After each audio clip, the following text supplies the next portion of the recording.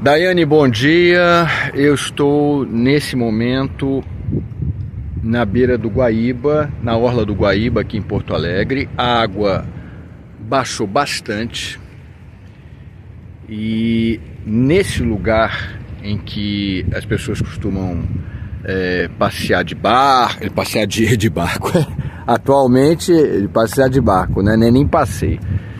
É, aqui as pessoas passeiam de bicicleta, a pé, né? Tem lá os bancos. Isso aqui ainda está alagado, mas aqui funcionam quiosques, né? As pessoas faziam lanches, tomavam cerveja e tal, se reuniam aqui.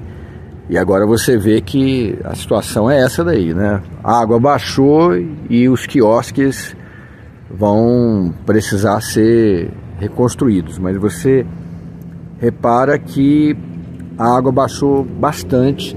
Aonde eu estou aqui agora, você não você não andava. Isso aqui é tudo tomado pela água.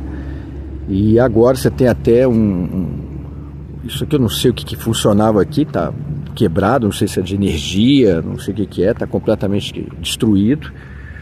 Esse lugar aqui é onde se colocava é, bicicletas.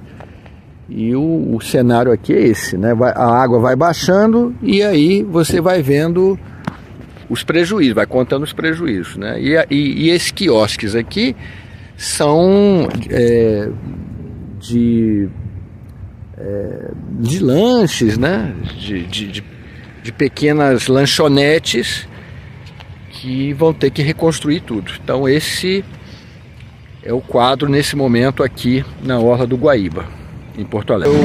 Eu estou diante aqui de um terreno do Demais, se não me engano, e aqui estão tá fazendo, fazendo aqui uma, uma limpeza. Olha a quantidade de lixo. Deixa eu ver se eu consigo virar aqui. A quantidade de lixo que está sendo colocado nesse caminhão. Isso agora é a Operação Rescaldo, né? Então, estão. Os caminhões estão trazendo aqui é, lixo, estão trazendo detritos. E agora é a Operação Limpeza, né? É a Operação Rescaldo. Aqui na Orla do Guaíba, no, na altura do gasômetro.